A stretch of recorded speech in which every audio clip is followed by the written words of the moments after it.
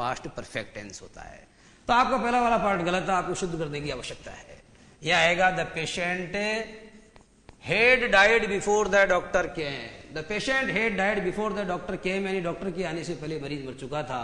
ये बिफोर शब्द जब आ जाए तो इसके बाद वाला जो पार्ट होता है, वो हमेशा पास्ट इंडेफिनिट में होता है।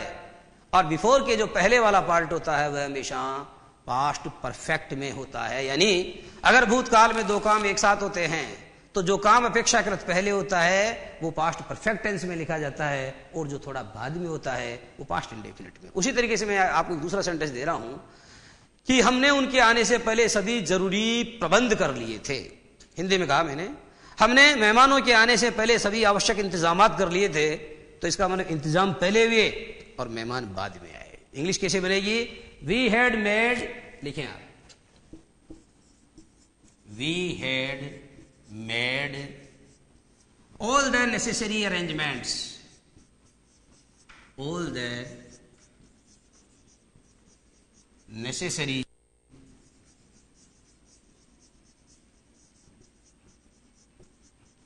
arrangements we had made all the necessary arrangements before the guests. यानी गेस्ट्स आकर के पहुँचे, मेहमान आकर के पहुँचे, उससे बहुत पहले ही हमने पूरे इंतज़ाम या पूरी जो ज़रूरी व्यवस्थाएँ थी, वो सारी कर ली थी। यहाँ आपने देखा कि इसमें बिफोर शब्द आ रहा है और बिफोर के बाद आ रही है वर्ग की सेकंड फॉर्म यानी बिफोर के बाद वाला जो क्लोज होगा बिफोर के बाद वाला जो क्लोज होगा, जिसको कि हम सबॉर्डिनेट क्लोज कहते हैं। बिफोर के बाद वाला जो क्लोज होगा, जिसको हिंदी में आश्रित उपवाक्य कहा जाता है, उसका जो टेंस होगा, वो तो पास्ट इंडेफिनिट होगा। लेकिन उसके